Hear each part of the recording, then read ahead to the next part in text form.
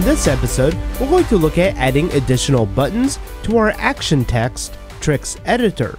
And specifically, we're going to be adding this color button. So if we highlight some text, we can then come up to the color, we can select which color we want, and we see that it will make that change.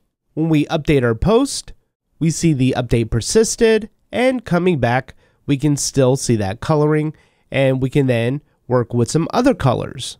And so the nice thing about this is that we're not going to be bringing in any kind of libraries to do this. We're going to build it from scratch. So we are going to be diving into JavaScript a bit more in this episode to accomplish this feature, but hopefully it'll pave way so that you'll be able to build your own buttons and customize Trix to the way you want it or need it. And did you know that you can go to railsstore.com to get your own Ruby on Rails t-shirt or your Drifting Ruby t-shirt? So be sure to check that out and use the promo code RUBY for free shipping within the United States. To watch this full episode and more videos, visit driftingruby.com and subscribe to the Pro membership.